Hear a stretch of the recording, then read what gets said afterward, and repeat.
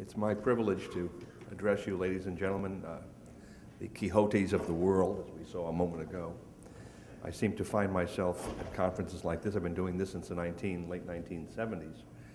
And what does interest me now is we are coming to that interesting political and economic context in which it's all coming together. Now, my topic is constitutional perspectives, and therefore I have to talk about both silver and gold. Because in the constitutional system, we're not under a gold standard per se, but under a, what I like to call a dual metallic system. Silver and gold are not merely valuable commodities. They're not merely investments. They're not even merely media of exchange. More importantly, they are key checks and balances in America's legal and political institutions.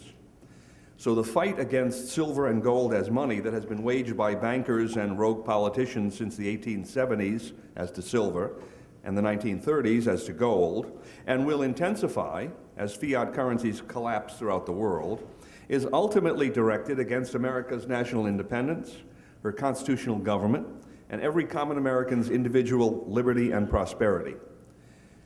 The Constitution of the United States adopted a monetary system consisting of silver and gold, in which the standard is the silver dollar, containing 371 and a quarter grains of fine silver, and the value of the gold coins are to be measured in dollars according to the free market's rate of exchange between silver and gold. So it's fundamentally a free market system. Neither the general government nor any state is authorized to emit paper currency. These restrictions prevent rogue politicians and officials from turning public debts into currency as a means for redistributing wealth from society to political elitists and their clients and special interest groups. Furthermore, although the Constitution does not mention banks, either public or private, its only correct construction requires separation of bank and state, extirpation of all inherently fraudulent fractional reserve banking systems, and rigorous regulation of all other arrangements that might operate fraudulently. I wrote a book on this subject a few years ago. It's 1,700 pages. I won't try to encapsulate it today. Uh, shortly, it's coming out in a CD version. But since the 1800s, early 1800s in fact, politicians and bankers have steadily subverted the Constitution by forging an increasingly tight relationship between bank and state. Through the grant of one abusive special privilege and another, politicians have immunized fractional reserve banking against the just economic and legal consequences of its own inevitable failures so that public officials and bankers could turn both public and private debts into currency, thus separating the supply and the purchasing power of currency from the economic discipline of the free market and rendering those matters largely political in nature. Under the Federal Reserve System, Americans no longer enjoy money in the economic sense, but are subjected to what must be denoted political currency, with emphasis on the adjective. Political currency is emitted on the basis of political debts. That is, either public debts or private debts for the payment of which the creditors expect public bailouts if the debtors default. Ultimately, the Federal Reserve System is inherently unstable and must lurch from one self-generated crisis to another, each increasing in severity until the house of cards finally self-destructs. Having separated society's medium of exchange from the production of real goods and services in the free market, and instead linked the currency to creating, packaging, marketing, servicing, and eventually salvaging political debts, the Federal Reserve System encourages, facilitates, and rewards irresponsibility on the part of both lenders and borrowers in the private as well as the public sector. Now, in order for those who benefit from this system to continue to loot society, the supply of political currency must continually expand. For that supply to expand, political debts must increase. True enough, political debts can increase, even geometrically, because political currency can be created, as the saying goes, out of nothing. But real wealth cannot be generated simply by the emission of paper promises neither can new paper promises pay off old ones. So, avarice being unlimited, insatiable, and imprudent, the whole operation must accumulate and culminate in an unsustainable burden of debts that either implodes in a depression or explodes in hyperinflation, or one followed by the other. Although the Federal Reserve System is fatally flawed, the wealth and power of elitists in high finance, big business, and the political class depend upon maintaining it or replacing it in a timely fashion with something of equal serviceability for their ends. As it cannot long be maintained, it must and soon will be replaced. But with what remains a matter for speculation. Not open to the slightest doubt, however, is that as crises have rocked this system, the establishment has always moved farther away from the Constitution to shore up the banking cartel, and always at common Americans' expense. In the 1930s, in response to the collapse of the fractional reserve racket, rather than reforming the bank's operations, the Roosevelt administration and his pliant New Deal Congress seized the American people's gold and outlawed almost all public and private contracts promising to pay in gold. In the 1950s to the 1960s, until the Nixon administration finally terminated redemption of Federal Reserve notes in 1971, the inflationary policies of the Federal Reserve System drained off more than half of America's national stock of gold to foreign banks and to the profiteers operating through them. And during the last few decades, as we've just heard, surreptitious manipulation of the precious metals markets has kept the price of gold, measured in Federal Reserve notes, suspiciously low, even as this country's financial structures have become increasingly shaky. Now, the, that the price of gold has been manipulated is easily explicable. There are really two reasons, one being the suppression of evidence, and the other the throttling of monetary evolution. First, an ever-increasing price of gold reflects the breakdown of the Federal Reserve System, just as an ever-increasing temperature reveals that the human body is sick and when it reaches a critical point, that death is imminent. Second, those who fatten off political currency need to prevent ordinary people from realizing that only a return to silver and gold as common media of exchange can stabilize America's economy, and especially they want to prevent common Americans from actually employing silver and gold in preference to Federal Reserve notes in day-to-day transactions. As the Federal Reserve's system experiences ever more frequent ever more serious and ever less tractable problems, however, downward manipulations of the prices of gold and silver will become impossible. And that the system is beyond repair will become apparent to all. At that point, the question will arise, and behind the scenes, it doubtlessly already has arisen among politicians and bankers, as to how and with what to replace this banking cartel.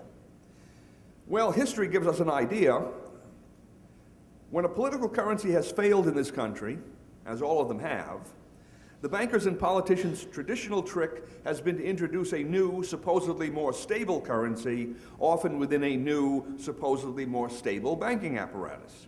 That was the sleight of hand that moved America from the independent state banks in operation prior to the Civil War, through the partially cartelized national banks created in the 1860s, to the fully cartelized Federal Reserve System established in 1913. Throughout this devolution, the progression of illegality has become increasingly stark. The state banks violated Article 1, Section 10, Clause 1 of the Constitution, but at least they operated only regionally. The national banks violated Article 1, Section 8, Clause 2, and operated throughout the country. But at least their emission of paper currency was limited by the amount of public debt that a generally thrifty Congress in those days was willing to incur.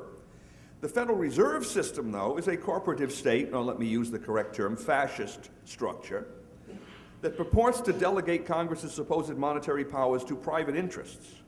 And the system's bubble of both public and private debts will expand to the limit of the avarice of the cartel's operators, its clients, and their political henchmen. Nonetheless, as unconstitutional and economically unsound as they were and are, all of these schemes operated and even now operate under color of the national sovereignty and laws of the United States, subject in principle to control by the American people. Indeed, Section 30 of the Federal Reserve Act still explicitly reserves to Congress the right to repeal, alter, or amend any part of the system or all of the system at will. But with the Federal Reserve System, bankers and politicians have gone about as far as they can within the economic and political institutions of the United States. And they have separated paper currency from the discipline of free markets about as far as possible, while still pretending to maintain some semblance of a connection to free markets. So, as the Federal Reserve System shakes itself to pieces, The likelihood is that, first, a new currency will arise outside of the United States in some regional supranational entity, such as the proposed North American Union. And second, the value of this new currency will not be controlled by free financial markets, but instead, propping up the currency's value will be the excuse for extensive governmental regulation in and manipulation of the markets. Now, this plan is so alien to the experiences and desires of most Americans that its implementation will probably require a controlled meltdown of the Federal Reserve System to bludgeon us into accepting the North American Union or whatever structure they create as the only way to obtain a new, supposedly stable currency and to return to something approaching economic normalcy. Yet even such a controlled meltdown, along with the company absorption of the United States into this northern hemispheric political order, will unavoidably generate economic, social, and political unrest that will surely threaten the financial establishment's position and power. Even dumbed down Americans will not long suffer conditions of depression akin to those of the 1930s, let alone South American levels of inflation as well. Desperate people will begin to ask questions, and soon they will assign blame. Perhaps not just a few will abandon debt currency altogether and substitute silver and gold as their media of exchange. They and others will conclude that the Federal Reserve System is unconstitutional, and therefore its operations are arguably a complex of criminal offenses. Many will realize that the establishment scheme for replacing Federal Reserve notes with some supranational currency is a political crime on a more stupendous scale yet, because it depends upon destroying both the Constitution and the Declaration of Independence. At that point, it will be interesting to see what an aroused people will do in terms of taking political action. Of course, on the other side, the establishment will not be idle. It will not sit by on its hands, waiting for events to overtake it. It will instead do anything and everything possible to maintain its position. Obviously, the Constitution and the Declaration of Independence will be expendable because the establishment has been trying to whittle away the former on a piece by piece basis over the years and intends to do away with the latter at one fell swoop in the near future. So, this country as an independent nation will be expendable too. And if this country, why not the freedom and prosperity of common Americans as well? Well, will ordinary Americans, at least 80 to 90 million of whom are armed, meekly put up with a program aimed at their country's assisted suicide? Why should they when they have nothing to lose, economically or politically? If they do not refuse to knuckle under, the establishment's only recourse will be attempt to lock down the whole country under some kind of paramilitarized police state, with perhaps the assistance of peacekeepers from Canada and Mexico for the employment of which negotiations are apparently already in progress, if you've been keeping up on that matter on the, on the internet at least. That is why some observers conclude that the paranoia that is being generated by politicians and the big media over Homeland Security and the frenetic paramilitarization of law enforcement agencies at the national, state, and even local levels in the name of Homeland Security are not caused by or aimed at foreign terrorists at all but instead target ordinary Americans in their own hometowns.